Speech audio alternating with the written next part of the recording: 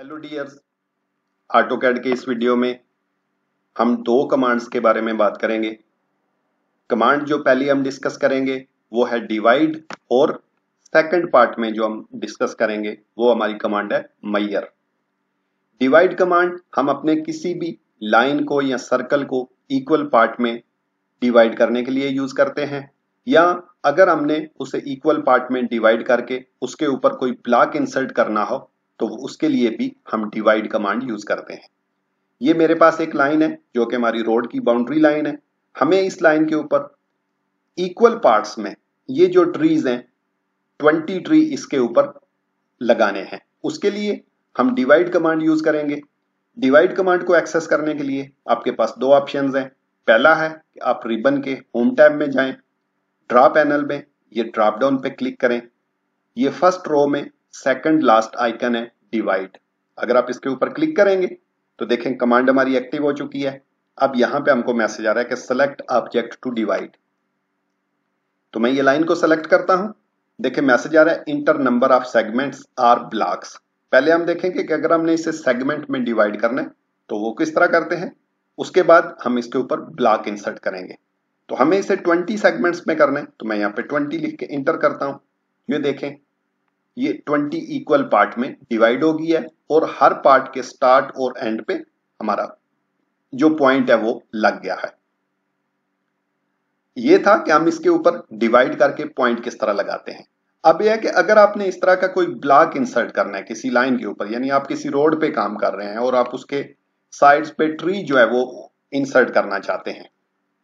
Divide command के लिए जो ऑटो का शॉर्टकट की है, वो है D I V D I V लिख के एंटर करें। सेम मैसेज आ रहा है select object to divide again मैं इसी लाइन को सेलेक्ट कर रहा हूँ। पहले हमने, देखें, जब ये मैसेज आया था कि इंटर नंबर ऑफ़ सेगमेंट तो यहाँ पे नंबर ऑफ़ सेगमेंट इंटर कर दिया था। अब हम नंबर ऑफ़ सेगमेंट इंटर नहीं करेंगे। यहाँ से हम ब्लॉक का ऑप्शन लेंगे। इसके ऊपर आप क्लिक भी कर सकते हैं। और अगर कीबोर्ड से बी लिख के इंटर करेंगे तो भी आपका ब्लॉक का ऑप्शन एक्टिव हो जाएगा। मैंने बी टाइप करके इंटर किया है। तो देखें, अब मैसेज आ रहा है कि enter name of block to insert हमारे पास ये जो ना ब्लॉक है, इसको मैंने जो नेम दिया है, वो है tree dash one zero one tree dash one zero one लिख के हम इंटर करेंगे। सेकंड मैसेज आ रहा है align block with the object yes उसके बाद आ रहा है नंबर ऑफ़ सेगमेंट तो हमें कितने सेगमेंट्स में ये चाहिए? ट्वेंटी ट्री हमने इस पे प्लेस करने हैं। तो मैं यहाँ पे ट्वेंटी कर रहा हूँ। इंटर ये देखें, वो तमाम लोकेशन जहाँ पे पहले जब हमने इसको डिवाइड करके पॉइंट लगाए थे सेम इन्हीं लोकेशन पे हमारे ट्री जो है वो इंसर्ट हो गए हैं।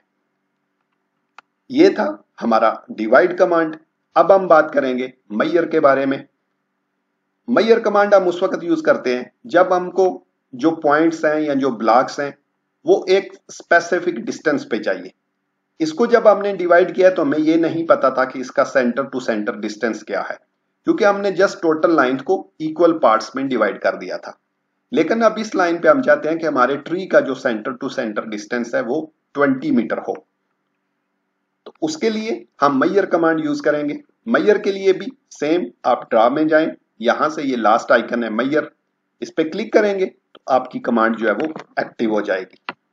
इस पे भी हम पॉइंट भी इंसर्ट कर सकते हैं। जैसे सेलेक्ट ऑब्जेक्ट तो मैं इसको सेलेक्ट करता हूँ। देखिए सेलेक्ट करने के बाद आ रहा है कि स्पेसिफाई लेंथ ऑफ़ सेगमेंट यहाँ पे हमने डिवाइड किया था तो नंबर ऑफ़ सेगमेंट थे। अब हमारे पास है लेंथ ऑफ़ सेगमेंट तो मुझे जो लेंथ ऑफ़ सेगमेंट रखनी है, वो 25 रखनी है। देखिए, मैंने 25 लिख के इंटर किया है। तो ये देखें हमारे हर 25 मीटर पे ये जो पॉइंट्स हैं, लग चुके हैं। अब हमने ये ब्लॉक इंसर्ट करना है। यानी अगर आपको पॉइंट नहीं चाहिए, आपको ब्लॉक चाहिए।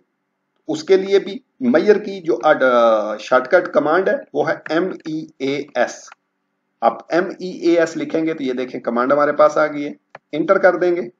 सेम देखें अगेन ऑप्शन आ रहा है। सेलेक्ट ऑब्जेक्ट तो मैं इसको सेलेक्ट करता हूँ। अगेन अब हम इसको नंबर ऑफ़ नहीं देंगे। ब्लॉक के ऑप्शन में जाएँगे। पहले हमने बी लिख के इंटर किया था। अब मैं यहाँ पे क्लिक करता हूँ। तो देखें, यहाँ पे आ रहा है enter name of the block तो ब्लॉक नेम है tree dash one zero one आपने जो भी अपने ब्लॉक को नेम दिया होगा, आप वो नेम यूज़ करेंगे। Enter align block with object yes specify length of segment मुझे जो सेंटर टू सेंटर डिस्टेंस चाहिए, वो 25 चाहिए। लिख के इंटर ये देखें, हर 25 मीटर पे हमारे ट्री जो है इंटर हो चुके हैं। अगर मैं इसको मैयर करता हूँ, ये देखें यहाँ से, मैं इसको अगर ट्रैक करके सेंटर पे ले आऊँ, ये देखें 25 मीटर पे मेरे जो ट्रीज हैं वो इंसर्ट हो चुके हैं। यहाँ पे जहाँ हमने डिवाइड किया था, देखें यहाँ पे इसने इक्वल पार्ट में डिवाइड करके ट्री इंसर्ट कर दिए थे।